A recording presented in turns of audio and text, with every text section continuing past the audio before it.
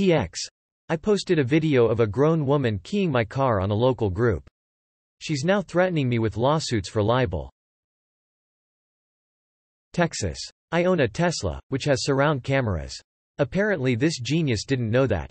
Clear as day, this grown A*S woman who lived in a different subdivision, walks up to my car, keys it from rear to front, and keeps walking. Her face is perfectly visible in the video. I went to the police, filed a report, gave them the footage, they charged her with vandalism I believe?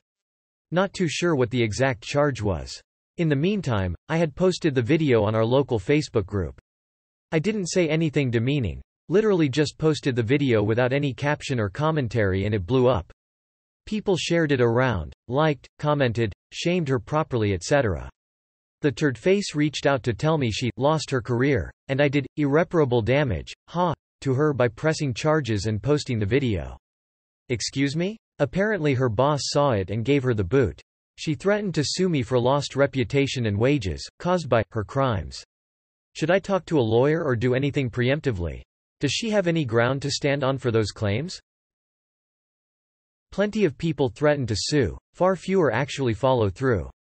If you actually are sued, you absolutely need to respond and speak to an attorney, but otherwise, just block and ignore her.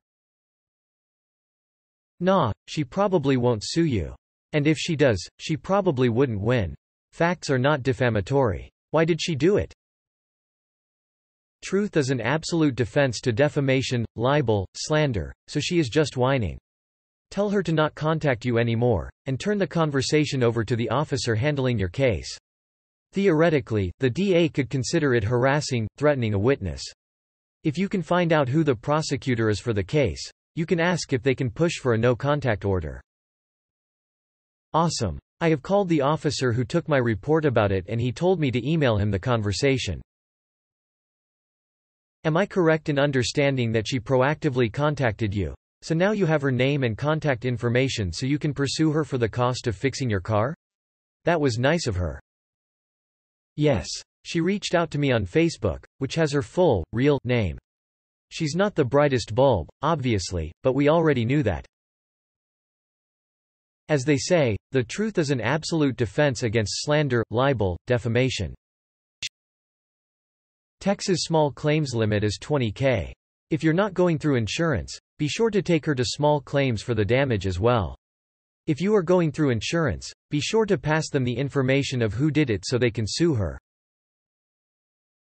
Truth is a defense to libel. She has no case.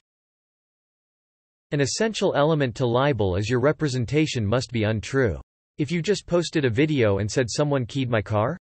Though it's true anyone can sue for anything, lawyers don't want to deal with these people post the initial retainer. They may write a form letter then quote an astronomical price to file suit hoping she goes away, or pays for their new car.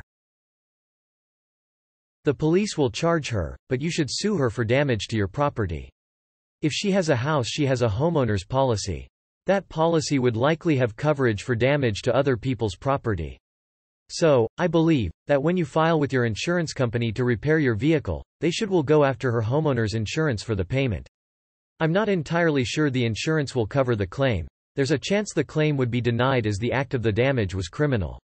I know that painting Teslas are expensive. If the cost will be over $2,500 seems she'll be subject to a felony. Good luck with future employment. It will be excluded as intentional conduct by the defendant's insurance. But OPS insurance will pay for the repairs and then it can sue the defendant for the amount it paid in repairs. It's called subrogation. Alternatively, the criminal matter may require the defendant to pay restitutions as part of the criminal sentence. Interesting. My insurance is Progressive and they've been alerted. The damage will cost a pretty penny to repair and I'll be out of a car for a while. Do I need to tell Progressive to look into her HOI or is that already their procedure anyway? Thanks. It can't hurt to give your insurance company this information. They may do nothing with it, or they may do something. Ignore her. Don't engage or talk to her. If you get served legally then get a lawyer. Make sure you keep the messages and give them to the police. In case she wants a trial for some reason, the messages are highly incriminating.